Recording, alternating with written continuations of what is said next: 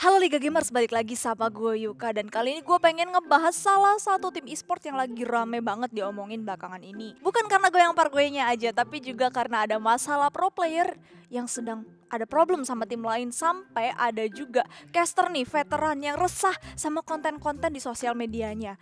Ini dia nih, OP Esports. Sebenarnya ada apa sih? Yuk kita langsung bahas aja di Seven Esports.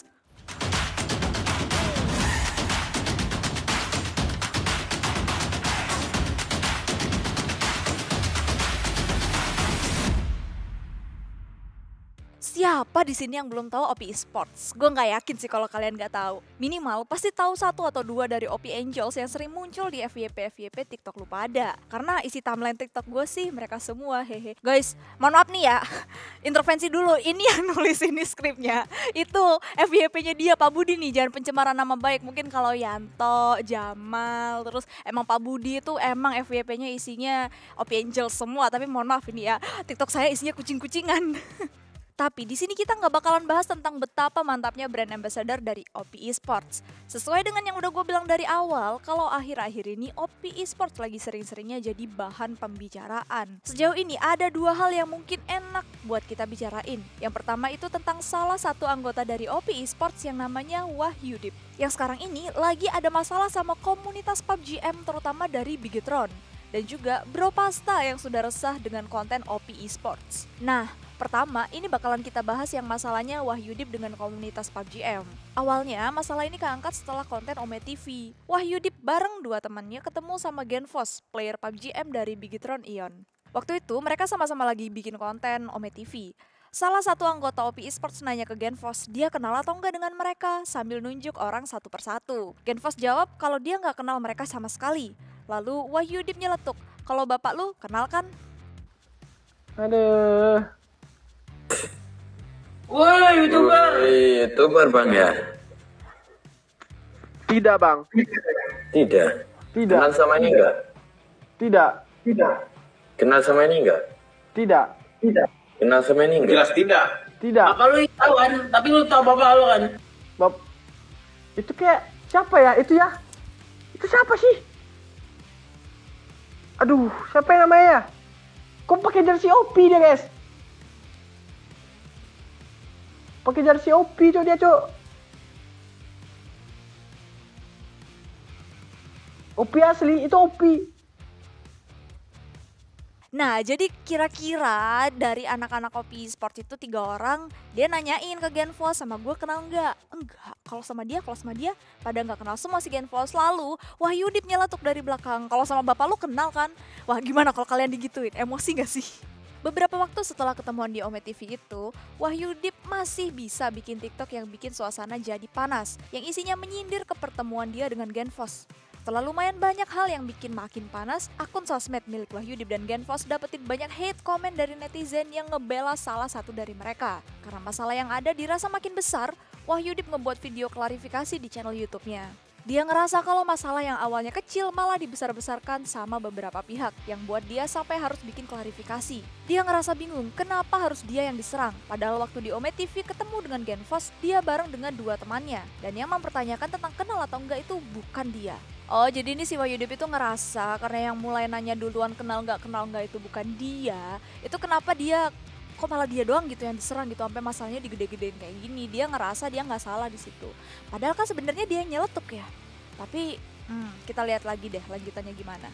Karena masalah ini jadi besar di komunitas PUBG M, banyak streamer dan beberapa pro player yang ngasih komentar ke Wahyudip, kayak Iman TDJ, Mimin Helmet, BTR Zuxi, sampai ke Ko Edwin atau BTR Starless juga ngebahas masalah itu. Dari pendapatnya BTR Starless, mungkin bisa aja Genfos mau bawa masalah ini sampai ke jalur hukum. Dan kalau emang bener nantinya bakal dilaporin ke polisi, pihak Bigetron siap buat ngebantu dengan lawyer-lawyer andalan mereka.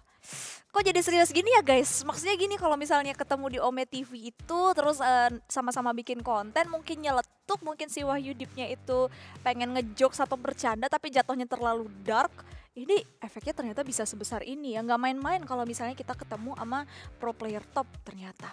Hmm. Dan gak cuma masalah ini aja yang bakal kita bahas, karena udah kita bilang tadi, satu bahasan lagi tentang OP Esports akhir-akhir ini, Bro Pasta yang speak up karena udah resah dengan konten-kontennya. Ya kayak yang kalian tahu, Buat yang udah tahu OP Esports, kalian pasti sering mantengin FYP di TikTok yang udah pasti sering banget ngeliat-ngeliat pargoy-pargoy dari OP Angels yang sudah pasti mantap. Ini skripnya yang bilang mantap ya, bukan gue ya, mohon maaf ini. Hal-hal ini ngebuat Bro Pasta speak up yang dia kritik konten TikTok dari OP Esports karena menurutnya konten tersebut merupakan sebuah branding yang keliru atau salah sasaran. Di IG story-nya Bro Pasta, dia ngungkapin keresahan tentang konten-konten yang dipublish sama OP Esports. Bro Pasta ngerasa kalau konten kayak gitu bisa mencederai perkembangan e-sport yang pesat di Indonesia. Bro Pasta sebenarnya ngerasa fine-fine aja sama konten joget-joget. Tapi dia nyayangin banget, kenapa harus dipublish lewat akun resminya OP Esports? Harusnya konten-konten begituan cukup di akun sosmed talentnya masing-masing.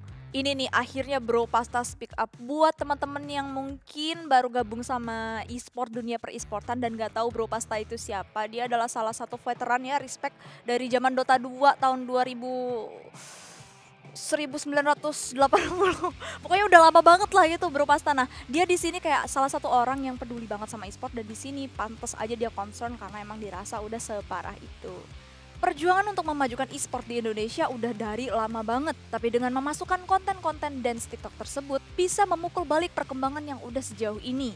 Bro Pasta sendiri akhirnya speak up karena merasa konten OP Esport sekarang ini sudah sangat meresahkan dan telah menciptakan konotasi buruk. Dengan kritik dari Bro Pasta itu, CEO dari OP Esports yaitu David Nugroho ngasih tanggapan dan ngajak buat diskusi terbuka.